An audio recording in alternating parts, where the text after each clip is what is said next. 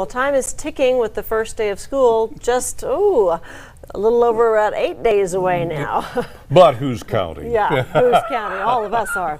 Across the KTAB viewing area for Abilene schools, things are changing by the day as COVID 19 still complicates education for another academic year. KTAB's Mercedes Hernandez was at tonight's Abilene board meeting where the pandemic made its presence known. Mercedes?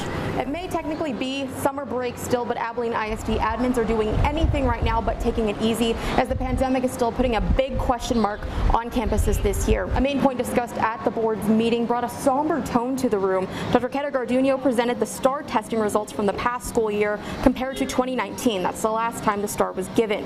And that covers grades 3 through 8. And as she reported, all levels suffered much learning loss. Those tallies on your screen right now.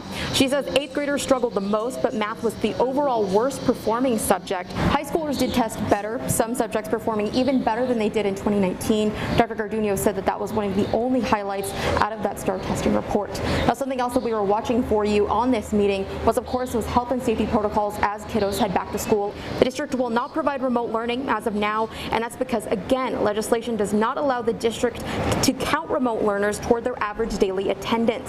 Another moment that definitely brought a distinctly somber tone to Monday night's meeting was when a board member asked if a student who had to quarantine at home because they were either COVID positive or had been in close contact with somebody would qualify for that average daily attendance. The answer was no. It's kind of a sobering conversation to have this right after we just saw what our learning loss was. Now, there is a scheduled media call with Superintendent Dr. Young on Tuesday afternoon, so hopefully we'll get in there and ask him a couple more questions about these issues that concern these trustees most. From 1AISD, I'm Mercedes Hernandez. Back to you. Thank you, Mercedes.